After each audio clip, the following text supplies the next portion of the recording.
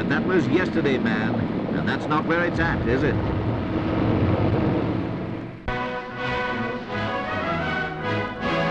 Exercise Sally Forth off the Firth of Forth. Navy C-in-C Sir Edward Ashmore and Air Chief Marshal Sir Andrew Humphrey on board guided missile destroyer Bristol, watching frigate HMS Nubian steaming by.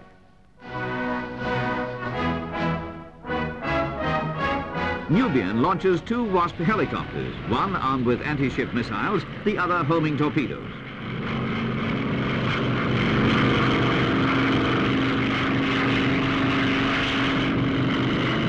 And RAF Nimrod lays sonar buoys simulating a submarine hunt.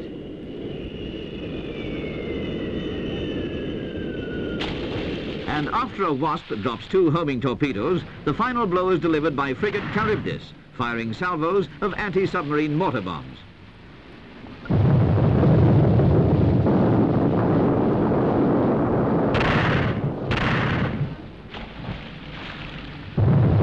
Followed by frigate HMS Gurkha.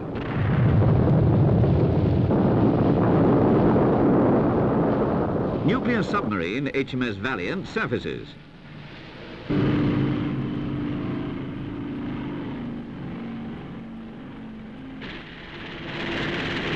HMS Fife prepares to transfer Defence Minister Lord Carrington to HMS Bristol by the rope and tackle jackstay method.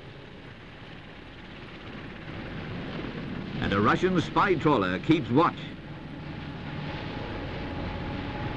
The main purpose of the exercise is to show the representatives of NATO countries on board Bristol the contribution the British Navy, the Royal Marines and the RAF can make. And in the press conference which follows his transfer to HMS Bristol, Lord Carrington says it was also intended to impress the British public and the Russians through the press. But the Russians still opt for an eyewitness account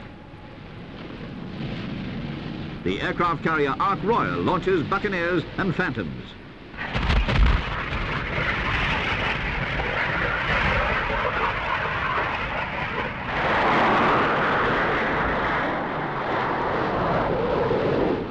Both types of aircraft are designed to carry out air-to-air -air and air-to-ship attacks with bombs, missiles, rockets and guns.